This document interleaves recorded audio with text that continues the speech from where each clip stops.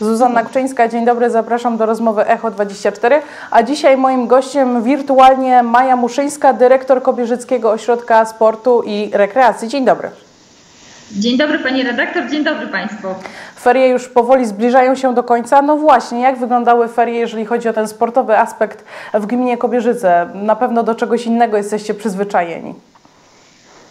Jesteśmy przyzwyczajeni do ciągłego ruchu, do aktywności sportowej, do gwaru, do śmiechu, do, do, mm, do takiego aktywnego trybu życia. Natomiast w tym roku ferie wyglądały zupełnie inaczej, ponieważ e, no, zgodnie z, mm, z rozporządzeniami, e, wytycznymi ministra zdrowia, również i, i prezesa Rady Ministrów, no, musieliśmy ograniczyć do, do minimum udostępnianie infrastruktury sportowej a mianowicie z infrastruktury sportowej na dzień dzisiejszy mogą korzystać e, tylko sportowcy wyczynowi bądź osoby, które pobierają stypendia sportowe, e, które trenują w PZS-ach, w związkach sportowych, czyli, czyli no sport zawodowy, wyczynowy, e, a i sport powszechny młodzieżowy, czyli dzieci szykujące się do konkretnych rozgrywek sportowych. Natomiast pozostałe obiekty sportowe no nie są, nie są, nie są czynne. Tutaj mówimy o takich obiektach jak hala sportowa, jak e, stadiony, które... Siłownia? Siłownia, e, dokładnie te, te rzeczy nie są niestety, niestety udostępnione i teraz zgodnie z wczorajszymi informacjami wiemy, że ten stan rzeczy przedłuży się nam do końca stycznia. Aha. Y, natomiast y, my mamy tych obiektów sportowych naszych na terenie gminy bardzo wiele. Mamy ścieżki rowerowe, mamy tereny sportowo-rekreacyjne otwarte, parki, y, mamy place zabaw również i tutaj nie ma takich wytycznych, żeby z nich nie korzystać. Mhm. Także zachęcamy do aktywnego, aktywnego trybu życia, na prowadzenia na tych obiektach i, i, i korzystania właśnie z, z obiektów. E, jeśli chodzi też o obiekty sportowe, to obiekt ślęzańsko-bielański otworzyliśmy w tym tygodniu. On będzie otwarty w godzinach 8-16 i weekend 10-18. No niestety nie w pełni, bo będzie można korzystać z trasy spacerowej, z placu zabaw, ale zawsze to jest takie fajne miejsce, żeby pójść, troszeczkę się przewietrzyć, e, pobiec, e, może przejechać na rolkach.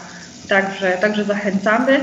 No i zachęcamy do korzystania z terenów otwartych. Aha. Tych mieszkańców właśnie, którzy no nie są zrzeszeni w e, klubach sportowych i też nie, nie uprawiają sportu wyczynowo. Mhm. Czyli pani dyrektor, krótko mówiąc, mieszkańcy mogą korzystać z tych e, obiektów, które są w plenerze, tak? które są na otwartej przestrzeni. Z tego dzisiaj mieszkańcy mogą korzystać. Y, pani mówiła tak, takich terenów sportowo-rekreacyjnych, bo tutaj jeśli chodzi o stadiony sportowe, mhm. to nadal nie. Mhm. I boiska, no niestety, niestety jeszcze, jeszcze mhm. nie. A jeżeli chodzi o ten wyjątkowy czas ferii, zawsze y, ferie organizujecie dla, dla najmłodszych, no teraz pewnie nie mogliście tego, tego zrobić. Czy w ogóle cokolwiek było organizowane dla najmłodszych, czy totalnie zupełnie nic nie mogło być? Y, no niestety nie mogliśmy aktywności y, sportowych dla, dla najmłodszych prowadzić. Podczas ferii, no, dzięki Państwa pomocy, organizowaliśmy ćwiczenia online, Tweetskofir, także mm, po prostu indywidualnie można było z nami i z Państwem poćwiczyć i do tej pory można, za co, za co dziękujemy. Natomiast zajęć feryjnych grupowych, tak jak co roku, gdzie odbywały się u nas zajęcia od samego rana do, do późnego popołudnia, różne sportowe dla, dla dzieci. W tym roku niestety takich zajęć nie było. Mhm.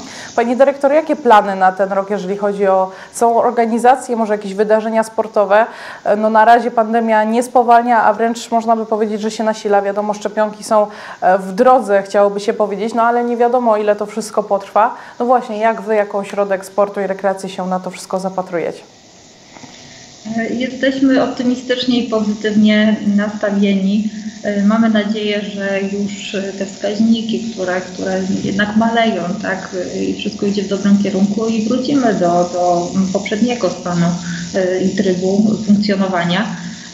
I mamy zaplanowane na te roki imprezy sportowe na, na maj, na kwiecień. Tutaj w kwietniu dziesiątą edycję turnieju Karate Cup czy mamy kciuki, żeby, to, żeby ten y, turniej się, się odbył. To jest prestiżowa impreza karatecka y, dla, dla dzieci i młodzieży z całej Europy. No mam nadzieję, że z jakimiś no tutaj wytycznymi, że, że będziemy w stanie spełnić to, to, te, te wytyczne i właśnie zorganizować tę imprezę. Następnie 3 maja tradycyjnie bieg z konstytucją. Też ta impreza się u nas co roku odbywa, też no, czekamy i chcielibyśmy, żeby ona w tym roku również się odbyła. I poza tym imprezy sportowe, takie jak rowery, rolki, e, kolonie, ferie dla dzieci. No, mamy nadzieję, że to wszystko powróci. Aha. Na ten moment e, odbywają się u nas rozgrywki piłki ręcznej, e, ekstra ligi pań, PG, NIG, także zawodowo, ale bez kibiców. Aha. Jednak w wejście jest to, co się odbywa. Czyli Pani Dyrektor, e, szacuje Pani, że maj, czerwiec to będzie właśnie ten moment, kiedy ta aktywność i Wasza działalność będzie mogła wrócić do normy, o ile wszystko będzie szło e, w dobrym kierunku, jeżeli chodzi o samą pandemię COVID-19. Ma taką nadzieję pani redaktor. Mhm. A jeżeli chodzi o zajęcia grupowe i te treningi grupowe, które, e, które też jako ośrodek sportu organizujecie, to właśnie też wtedy będzie mógł wrócić razem z, z imprezami e, plenerowymi, czy nieco wcześniej? Pani redaktor, redaktor mam nadzieję, że wcześniej, że mhm. może już od lutego, jeżeli zmienią się y, wytyczne.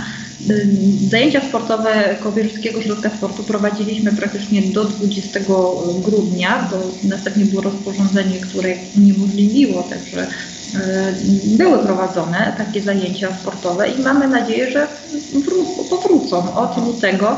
Chyba, że będą dalsze decyzje związane z epidemią, no to, to, to będziemy czekać po prostu na, na ten moment, kiedy, kiedy będzie to możliwe. My jesteśmy gotowi, my jesteśmy przygotowani.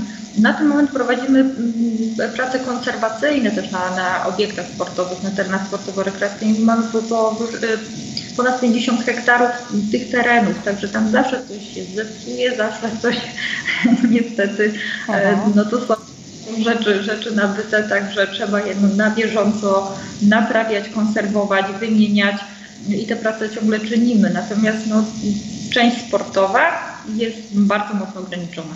Pani dyrektor, w zeszłym roku nie odbyło się wiele imprez z tego, co planowaliście. No właśnie, a tego roku e, bez czego e, nie wyobrażałaby sobie Pani, żeby, e, żeby jeszcze kolejną edycję przekładać? Co jest takiego trudnego, jeżeli chodzi właśnie o to, na co czekacie najbardziej? Bardzo czekamy, myślę, że ferie dla dzieci. Ferie dla dzieci, które sprawiają dużo radości dzieciom i y, czekamy na te ferie, żeby móc organizować y, wypoczynek dla, dla naszych mieszkańców. Aha. Czekamy na Karate tak jak wspominałam, dziesiąta edycja jubileuszowa. Już jest plan tej imprezy przygotowany. Tutaj wspólnie z Wrocławskim Klubem Karate organizujemy tę imprezę. E, i no, chcielibyśmy, żeby się odbyła. No i bieg z konstytucją.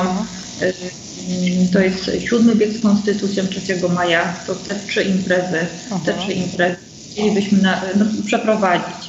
A, a pozostałe wydarzenia u nas trochę co, co tydzień na bieżąco w hali się coś odbywa, czy mniejszego, większego, właśnie rozgrywki piłki ręcznej, pań, które teraz bardzo dobrze e, są e, notowane w tabeli, bo na pierwszym miejscu trzymamy kciuki za nasze zawodniczki kobierzyckie, ale też mniejszej rangi wydarzenia, takie jak turnieje koszykówki, turnieje piłki nożnej właśnie dla naszych mieszkańców, turnieje, turnieje dla dorosłych. Mam nadzieję, że to wszystko powróci. Pani dyrektor, obserwując mieszkańców Kobierzyc, aktywnie spędzają te, te trudne momenty, cały czas pandemiczne? Pani redaktor aktywnie. Bardzo fajną inicjatywę tworzą mieszkańcy w Bielanach Wrocławskich, e, którzy mimo, że my nie prowadzimy z nimi zajęć Nordic Walking, to e, ćwiczą sami, organizują się i, e, i dalej te zajęcia są prowadzone, także potrafią. Jest to bardzo, znaczy, no, no, grupa coraz liczniejsza. Oni oczywiście się grupują i prowadzą zajęcia w mniejszych podgrupach na, na, na przestrzeni, ale ciągle są zorganizowani, także można. Dodatkowo też jest teraz taka moda na morsowanie, Aha. więc też e, dużo mieszkańców morsuje. Widzimy tutaj e, i, i pozytywnie to wszystko się odbywa. Też jeżdżą na mieszkańcy na, na rowerach, e, biegają, widzimy biegaczy spacerują, dbają o siebie. Bardzo dziękuję za rozmowę. Bardzo dziękuję, dziękuję serdecznie, dziękuję Pani, dziękuję Państwu. Moim i Państwa gościem była Maja Muszyńska. Ja bardzo dziękuję za uwagę. Do zobaczenia.